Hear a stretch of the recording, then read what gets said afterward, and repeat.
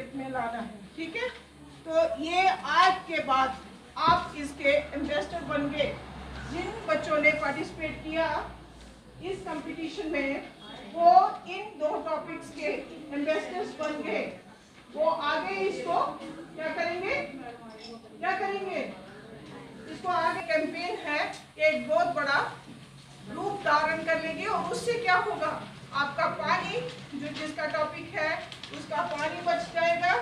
जो child labour के लिए कर रहा है, वो बच्चे स्कूल आना शुरू हो जाएँगे और आपका मिशन आपका गोल अचीव हो जाएगा। आज, ये जो गर्ल्स हाई सेकेंडरी स्कूल के प्रांगण में एक कंपटीशन पेंटिंग कंपटीशन ऑर्गेनाइज करवाया गया है।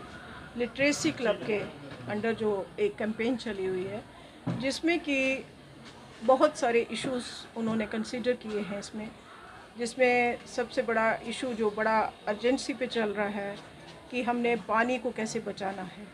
जल अभियान जो चलाया हुआ है, वो अगर हमारे बच्चे घर घर से आते हैं घर घर ये पैगाम पहुँचाएँगे कि जल ही जीवन है, जैसे उन्होंने अपना मैसेज लिखा हुआ है तो मेरे ख्याल में एक एक कन बचाने से भी समुद्र जो है वो कन से ही बनता है तो वो जल की एक जो इशू है वो कंसर्न जो बना हुआ है वो भी आ, किसी हद तक हम पूरा तो नहीं कहते किसी हद तक वो हमारी कोशिश जो होगी वो पूरी हो सकती है।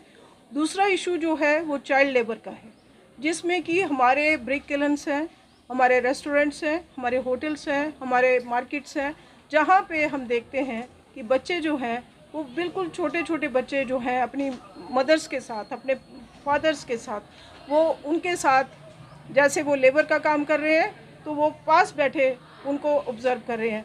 वो उनका काम नहीं है। वो कल का जो है, वो फ्यूचर है।